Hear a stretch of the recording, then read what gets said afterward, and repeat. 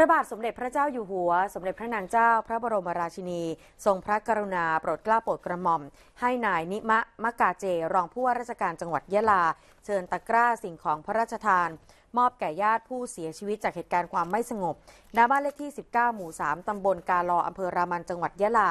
โดยมีนางสาวพีอะกาปานาตู เป็นผู้รับมอบตะกร้าสิ่งของพระราชทานในครั้งนี้นะคะ ในการนี้นายนิมะมะกาเจ รองผู้ว่าราชการจังหวัดยะลาได้เชิญกระแสรับสั่ง พระบาทสมเด็จพระเจ้าอยู่หัว สมเด็จพระนางเจ้าพระบรมราชินีทรงห่วงใยและเป็นกำลังใจให้ครอบครัวของนางพีอาร์กปานาตู ซึ่งเสียชีวิตจากเหตุการณ์คนร้ายได้ใช้อาวุธปืนสงคราม ยิงจุดตรวจ ชุดรักษาความปลอดภัยหมู่บ้านหมู่ที่ 5ตำบลลำพะยาสร้างความปราบปลื้มและซาบซึ้งในพระมหากรุณาธิคุณเป็นล้นพ้นแก่ครอบครัว รวมถึงญาติพี่น้องของนางพีอาร์กปานาตูอย่างหาที่สุดมิได้ค่ะ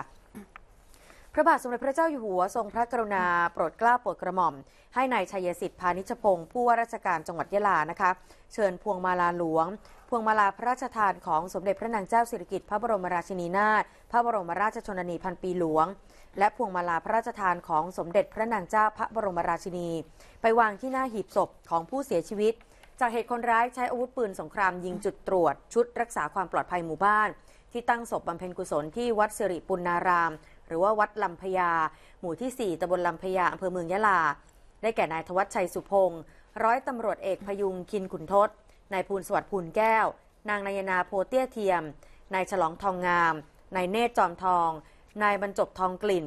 นายวิรัตเพชรปล้อง นางรัชนกยอดแก้ว และนายสุนทรยอดแก้วค่ะ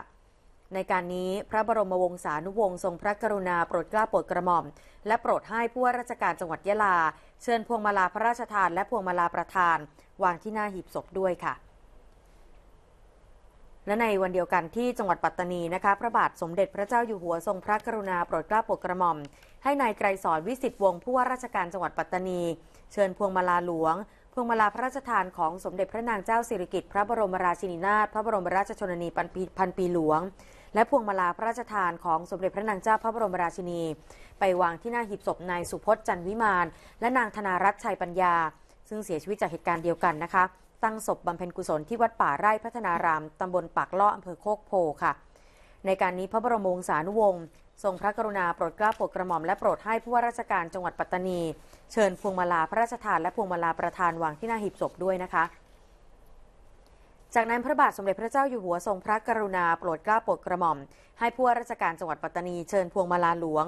พวงมาลาพระราชทานของสมเด็จพระนางเจ้าสิริกิติ์พระบรมราชินีนาถพระบรมราชชนนีพันปีหลวง และพวงมาลาพระราชทานของสมเด็จพระนางเจ้าพระบรมราชินี ไปวางที่หน้าหีบศพ นางสาวกมลวันอุทัยธรรม ซึ่งเสียชีวิตจากเหตุการณ์เดียวกันที่ตั้งศพบำเพ็ญกุศลที่วัดป่าสวยอำเภอแม่ลาน ในการนี้พระบรมวงศานุวงศ์ทรงพระกรุณาโปรดเกล้าโปรดกระหม่อม และโปรดให้ผู้ว่าราชการจังหวัดปัตตานี เชิญพวเชิญพวงมาลาพระราชทาน และพวงมาลาประธานวางที่หน้าหีบศพด้วยค่ะ